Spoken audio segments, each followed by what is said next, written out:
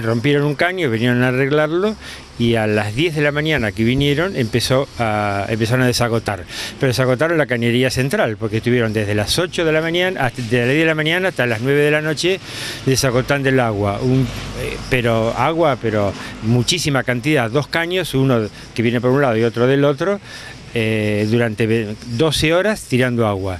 Un chorro que tenían como 10, 10 centímetros, 20 centímetros de, espesor, de, diámetro. Y, todo el día perdiendo agua es una barbaridad, para que se podría haber evitado tratando de romper en, menos, menos, menos cantidad. Obviamente, además, eh, una laguna aquí en la zona de 25 de 63, donde hay avenida también, donde hay una gran circulación de autos. Claro, porque tanta agua tiraron que iba desde la mitad de, la calle 25, 63, 64, hasta desagotaba en 62. Este, todo el agua en la boca de la tormenta desagotaba ya. Entonces, toda la avenida 63 de, los números impares estaba totalmente inundado.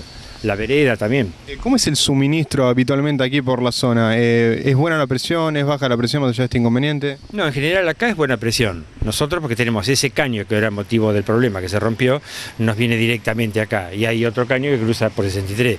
Entonces la presión es relativamente buena pero porque tenemos dos suministros. Pero hay vecinos, por ejemplo, en la otra calle, como 63, 26, 27, que se quejan porque ahí no llega la presión. Y ayer me imagino todos los vecinos protestando porque no tenían agua. Acá apenas había y por momentos no había. Y aparte lo peor, lo más desgraciado de todo, que se ha perdido tanta agua, tanta agua durante todo el día. Yo soy odontóloga y lamentablemente estos equipos funcionan a presión de agua. Entonces, bueno, a la tarde prácticamente no pude trabajar porque no, no tenía agua. Y aparte lo lamentable de todo esto, la cantidad de agua que se perdió desde las 11 de la mañana hasta las 21 horas sabiendo que hay zonas que tienen carencia de agua, aparte que provoca dolor como ser humano ver tan, tanto desperdicio por una falta de, de, digamos, de mandar gente idónea para realizar los trabajos.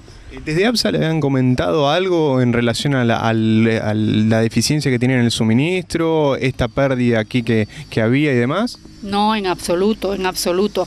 Anoche eran las 21 horas y había camionetas de APSA, autos particulares, indudablemente ya asustados por el tema, porque no puede ser que... Eh, se exceda tantas horas de pérdida de agua, no podían solucionar y bueno, había gente, pero jamás ni una explicación a ningún vecino, a nada.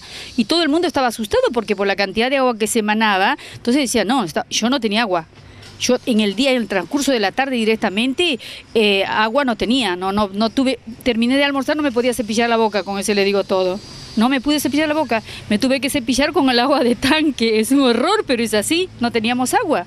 Además la complicación es con el calor, sino porque en estas épocas donde hay más temperatura hace... ¿Qué le parece? Uno no se podía duchar, no podía hacer absolutamente nada.